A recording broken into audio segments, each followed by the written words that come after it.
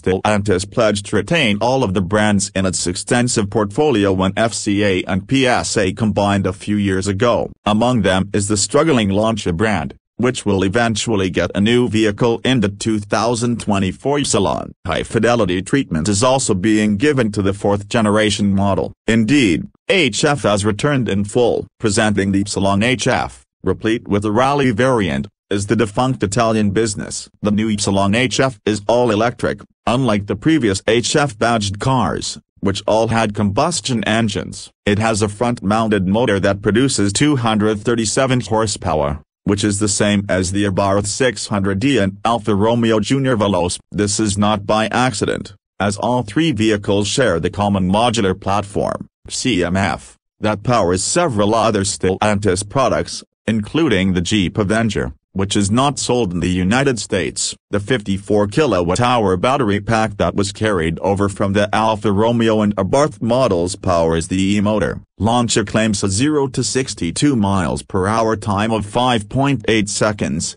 which isn't too bad for a tiny, mainstream brand front-wheel drive hatchback. The Ypsilon HF boasts a wider track and a lowered suspension for improved handling in addition to an upgraded electric motor. Since the stylish Supermini won't be available for purchase in Europe until May 2025, today's release is just a preview. The high-fidelity treatment, according to Lancia, will benefit all next models including the resuscitation of the Gamma and Delta, which is scheduled to happen later this decade. The owners created a club exclusive to those with six or more cars, and that is when the small elephant logo was first used in 1960. The HF Lancia Racing Team was founded in 1963, but the Fulvia Coupe HF, the team's debut vehicle, didn't get the iconic badge until 1966.